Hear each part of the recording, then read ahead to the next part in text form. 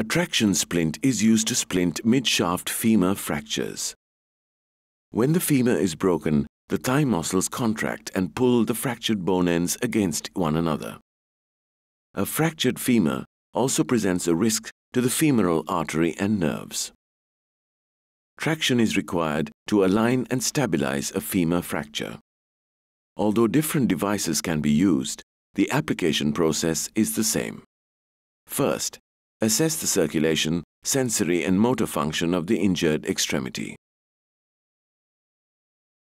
Apply manual traction to the injured extremity and do not suspend it until the leg is completely splinted. Position the splint under the injured leg and secure the groin strap. Using a triangle bandage or commercial device, apply an ankle hitch and pull manual traction through the ankle hitch and pass it through the metal, which will secure the splint. Pull the splint tightly and make sure it is secure. Maintain the same amount of traction as you did during manual traction. Now, the splint is maintaining traction. Use cravats to secure the leg to the splint.